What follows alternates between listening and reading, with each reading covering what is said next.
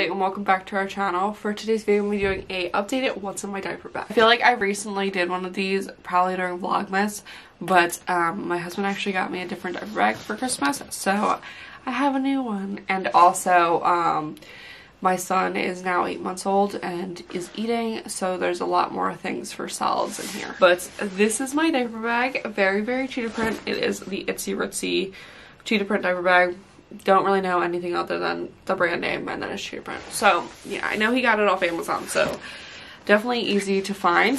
Um, I used to have the Miss Fong diaper bag. I mean, I still do have that one, but this one, this is comfortable. This has like very supportive like straps. It's more of like an actual backpack than like a fashionable backpack. I mean, it's cheetah print, so it's still fashionable. But this thing is so comfortable. I swear, when this thing's on my back, like I forget that it's there, and I have to like be told, like, are you gonna take your diaper bag off? So, yeah, I definitely recommend these diaper bags. Um, they are expensive, but I think they're worth it. And then also, it comes with these straps for your stroller. I don't do this, but I do have this little attachment for Finn's um, height not height chair, car seat. Um, it's like one of those things that clicks their diaper, or their car seat off. I don't know why I keep saying diaper bag, um, but I just have this slipped onto my diaper bag. Um, I recently started doing my nails, so they're a little bit longer. These ones are short because I didn't feel like having long nails. But um, this thing is a godsend. And I also know that a lot of people use these once their kids are like knowledgeable of like how to take their like car seat straps off. So they use these and then they're like, you can't take it off without this. So I don't know. Maybe I'll do that one day. But yeah. So I'm going to start with these side pockets. Um, on this side, there's nothing. And then on the other side, there is a tissues and there's more tissues and hand sanitizer. These are the hand sanitizer antibacterial hand sprays from Bath & Body Works.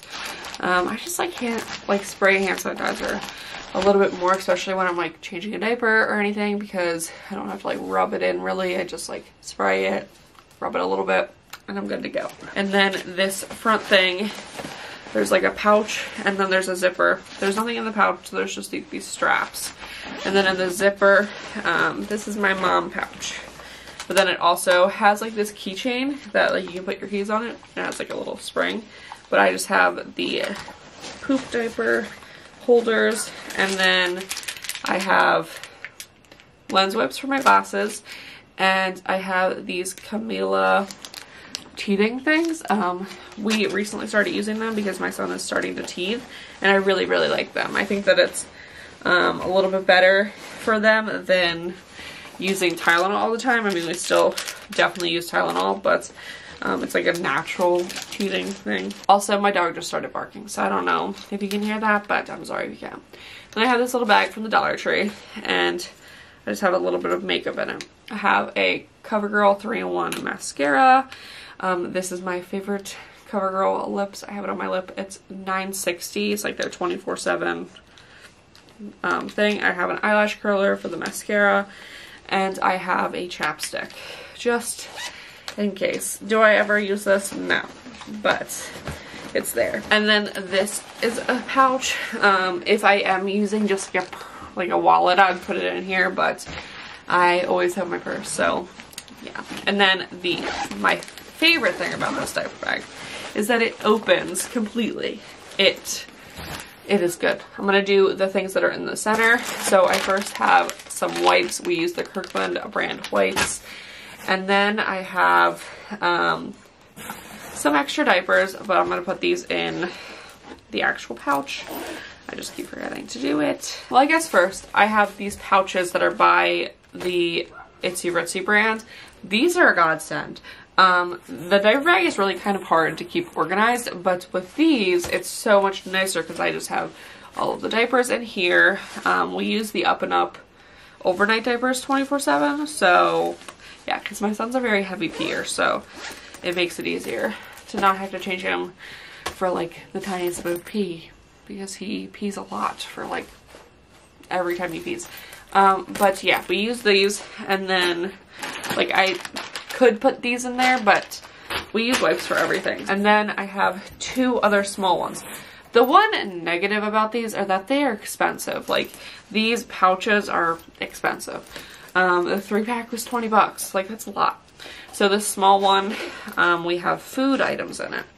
So we have a bib. Um, it's one of these bibs. I don't really feel like opening it. Um, my mom got us these, um, this eating set that has like these bibs that like fold and they have like a little clip and they're really nice. And then a spoon from that. And then we really like these, um, I think they're by Boon. Um, they have like these holes and you can put food in it. And it's really good for giving like fruit and just things that like can help him teeth. Um, we learned that with baby led weaning, he like needs a spoon or something to chew. Like he doesn't know how to chew if he doesn't have like a utensil in his mouth. So we started doing that at the beginning and then now he knows how to chew. I mean, he doesn't have any teeth, so that thing also helps him.